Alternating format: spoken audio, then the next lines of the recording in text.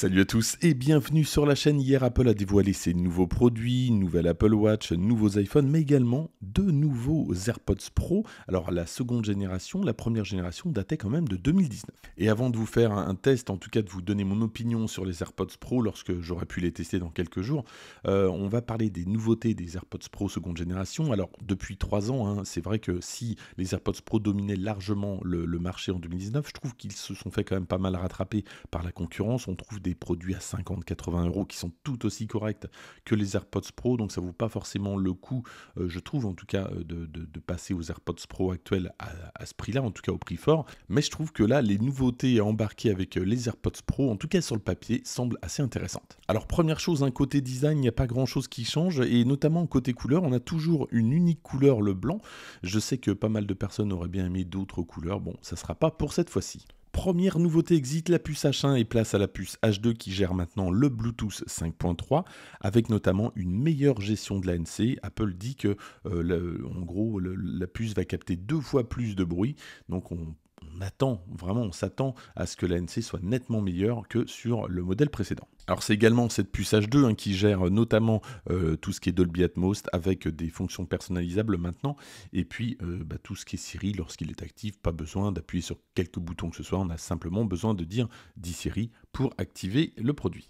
Autre nouveauté de cette puce H2, ça permet une meilleure autonomie. On passe maintenant à 6 heures par écouteur, donc comme on peut les recharger jusqu'à 5 fois, ça ferait 30 heures. Alors c'est tant mieux parce que objectivement, par rapport à toute la concurrence, là aussi, les AirPods Pro étaient vraiment en retard. Autre nouveauté du boîtier cette fois-ci, c'est que non seulement on va pouvoir le recharger en MagSafe, donc pourquoi pas, ça peut être sympa, euh, mais surtout on a un haut-parleur. Et lorsque on va perdre le boîtier, et ça arrive souvent, alors on pouvait retrouver en tout cas avant euh, les, écouteurs avec euh, l'application localisée, mais si vous aviez perdu le boîtier, on retrouvait rien du tout.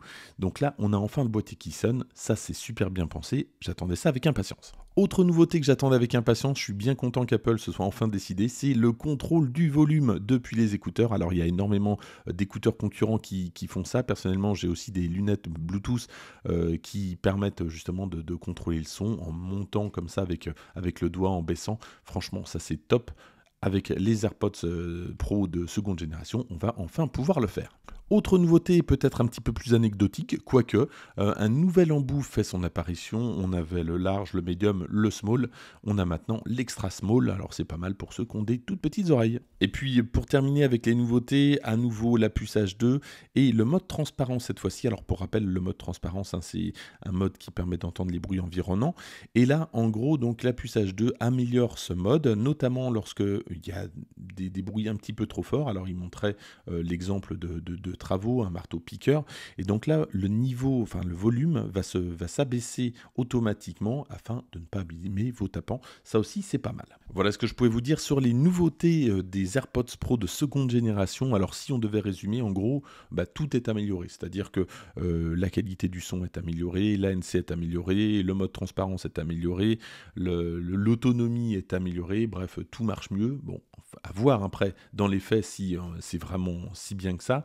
Alors par contre, hein, le prix aussi a été amélioré puisqu'on passe à 299 euros. De mémoire, c'était 279 euros pour les AirPods Pro de première génération euh, et on les trouvait souvent à 200 euros, euh, en tout cas sur des promos Amazon. Personnellement, je trouve qu'il y a eu quand même pas mal d'améliorations pour cette seconde génération euh, d'AirPods Pro. Alors, c'est sûr qu'Apple a eu quand même 3 ans pour s'y préparer, mais c'est quand même pas mal.